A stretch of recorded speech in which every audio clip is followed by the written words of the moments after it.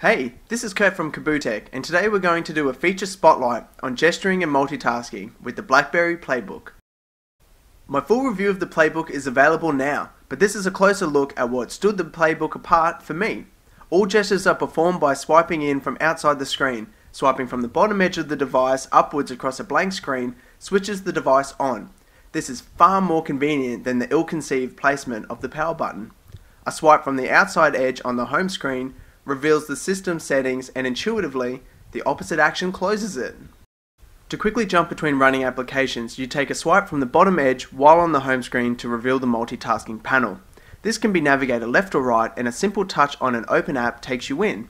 A swipe from the left or right edge inwards flicks you quickly between applications as well, but this is less convenient than swiping from the bottom of screen in a running application and jumping back out to the multitasking panel where you can quickly access an application, for instance, 10 down from where you are. I truly loved this about the playbook swift, fluid actions that corresponded with how I instinctively wanted to interact with the screen.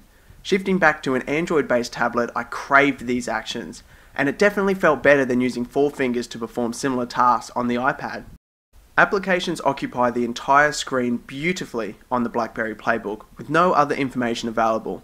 Application specific settings are revealed by swiping from the top edge of screen, and a diagonal swipe across the screen from either top corner displays the time and system settings.